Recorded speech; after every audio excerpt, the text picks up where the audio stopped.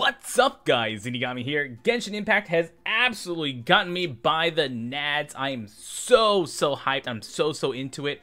Find me live on twitch.tv slash Zeenigami every single day. I've been streaming it for way too long, but here are seven tips and tricks that you might not know or you might already know. Let me know if you knew about this before. Let me know if you didn't. And if you have any other tips to share with me in the community, please let me know in the comments down below or hang out with us live on twitch.tv slash once again or on Discord. But let's look at the first one.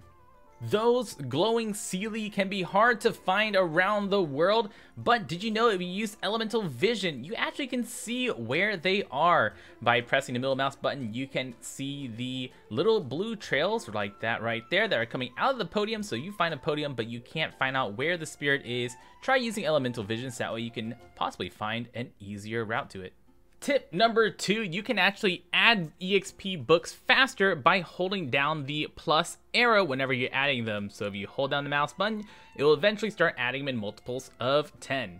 Tip number three, there are materials in the world of Genshin Impact that take longer to respawn than others. Items that are evolution items for characters such as the Jueyun Chilies and ores, iron ores, jade ores, white iron ores. These take two days to respawn versus the easily collectible materials like wheat that takes only one day to respawn.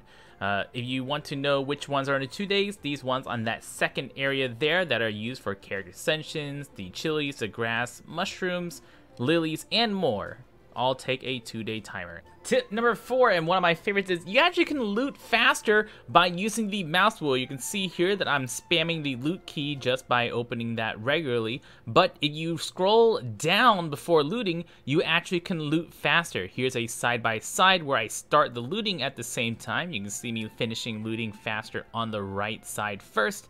The left side, again, is just spamming the F key. The right side is scrolling down before spamming the F key. And here's another example where I open up the chest beforehand and I start looting at the same time. You can see here I finish way faster. Tip number five is you actually can mine in a lot of different ways. Mining is going to be done a lot in Genshin Impact to get all these ores, and if you're just using a regular character with a melee weapon, then you're going to have a hard time doing it. Two-handed weapons like the claymores and clubs will mine a lot faster than pole arms and single-handed swords, so bring a claymore character we know about.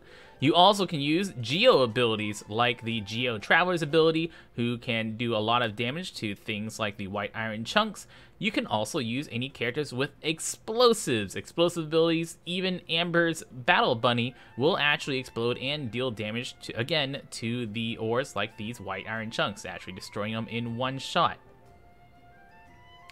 Tip number six, using artifacts to power up another artifact actually keeps about 85% of the experience of the previous artifact. So if you're worried about leveling up your artifacts and investing too heavily early on, you can see here that I'm using a plus 4 artifact to power up into a plus 4 artifact, and we're keeping basically all the EXP. So don't be too worried about finding that perfect piece of gear before investing. And finally, tip number seven, taller characters are better than shorter characters. And they're actually just faster at climbing, running, walking, everything basically. I'm going to be comparing a bunch of Lisa and Fischl movements here. You can see Lisa has finished climbing up to the top. Here we're walking to the front of Mondstadt, and Lisa is going to consistently beat Fischl by just a tiny percent, maybe like 10% faster. And this is actually based off of the camera height whenever you're swapping between characters. So if you notice a character uh, whenever you swap to them that the camera actually moves upwards or downwards, that's how you can tell if the character is a taller or a shorter character. You can see here she's beating Fischl in everything from walking to sprinting and even to dashing. You can see here that Lisa actually dashes just a little bit farther than Fischl does. And that's it for this video for me. This is me trying a lot of new things here in this video. It's a lot faster paced than I normally did. I don't really know if I am comfortable doing it in this way. There's some things I can do to definitely improve with this new style of YouTube video, but let me know what you thought about it. I am trying a lot of new things, so still a little shaky on how I like to have things done. Still working on the pacing and stuff like that, but let me know again what you guys think. Thank you so much for watching, My name's been Zeenigami, and y'all stay beautiful.